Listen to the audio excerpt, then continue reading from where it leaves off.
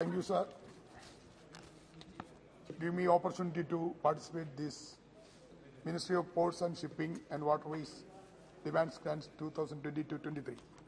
Sir, I would like to limit my speech on the matters pertaining to development of inland waterways and issues related to the same due to the shortage of time.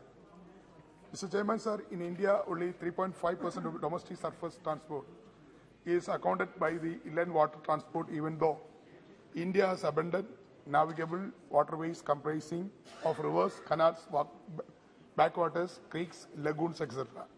My state, Kerala, and my Lok Sabha constituency, Mavelikara in particular, has immense potential for complementing uh, uh, the PM Gati Shakti master plan and to contribute the overall growth of inland water transport for commercial and passenger transport, etc.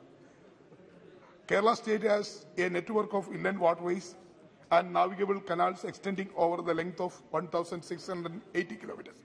West Coast Canal, the main air, arterial waterway route, 558 kilometer long, used to be the primary navigation route until a few decades ago. So till 2016, only five waterways were declared in na- national waterways in April 2016. Government of India has declared another 106 waterways 106 waterways spreading all over the country as national waterways, which include three more waterways in Kerala. A 2% growth in GDP is anticipated with the development of these waterways. Sir, I would like to add the government needs to think beyond the declared waterways. In the case of Kerala, if it is serious about making the inland water transport as the alternative cargo and people movement in the state uh, with the possibilities. Sir. Sir, I would request that the government of India must make sub- substantial investment in Kerala, declare waterways and feeder routes and sub-canals so that they can be developed to feed, compli- uh, feed and uh, complement uh, the existing declared waterways efficiency.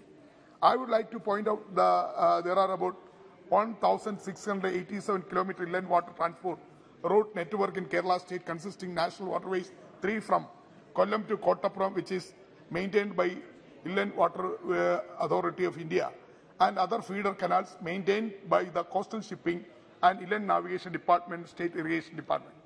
I would remind the, uh, that cargo transportation through mechanized barges existing national waterways 3, but also most of the feeder canals and waterways are facing difficulties arising from inadequate modernization, causing shallow depth and narrow width of the waterways.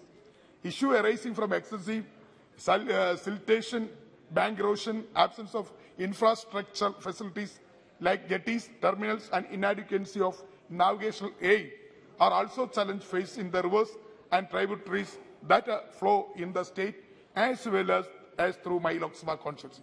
Sir, uh, sir, there are major rivers such as Pamba, Achankovil, Manimala, Meenachil, Muvattupuzha. Rivers discharge into Vembanad Lake and flow into Arabian Sea, as well as Ashtamudi Lake in the Kallada River, uh, its inlet channel and Sasthamkotta Lake, a Ramsar site a larger freshwater body that pass through my constituency, Mavelikara, and play significant role in the lives of the people and the uh, welfare. I would invite your attention through you. I will. I would invite uh, attention, Honourable Minister, through you, sir. The following matters pertaining my constituency seek your earnest support and assistance in resolving the same. Kuttanad Taluk, a unique below sea mean below sea level location with a population of 1,93,000 uh, uh, and 700 spread in 14 villages. That is re- replete with the backwaters in the dire need of infrastructure, augmentation and assisted development. Sir, uh, the, towards this purpose, I'm, I'm concluding, sir. Last, last point.